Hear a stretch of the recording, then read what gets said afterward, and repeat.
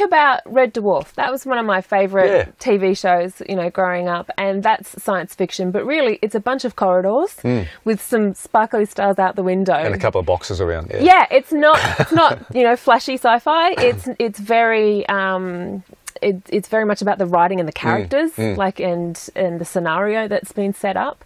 Um, so it doesn't have to be you know let's do a you know a chase of fighter planes through Yeah. space. It, that that doesn't necessarily provide a, a Yeah. good short film. Yeah. Good characters, you know, believable dialogue. Um, uh, people really, it always comes down to people, you know, and humanity, and um, finding something within those people and the situation they're in that um, make your story compelling. Click here to watch the full interview. Don't forget to like and if you haven't yet, subscribe to this channel and support Optimistic Sci-Fi.